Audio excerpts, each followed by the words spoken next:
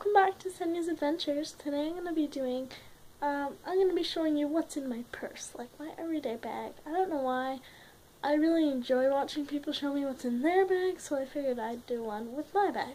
So, my bag is right here. um, so I think the first thing I have is my wallet. It's kind of a large wallet, but it, it fits in and in here I've got just a whole bunch of cards and stuff.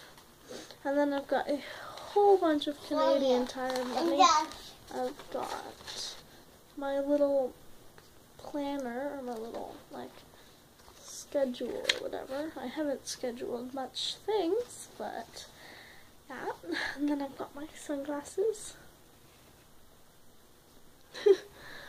um Oh, I've got my little homemade makeup mirror or whatever it is.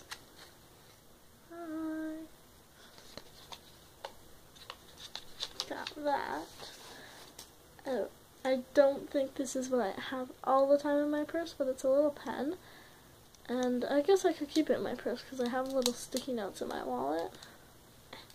There we go. I don't. There we go. And then this little dude It's like a zipper bag or something.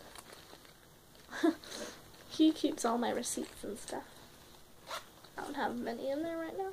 Um, and then, I don't think I've got anything in this pocket right now, but usually I'll keep my phone in there. Um, I'm pretty sure that's it for what I keep in my bag. Um, so thanks for watching, guys. Bye. Oops. Bye, guys.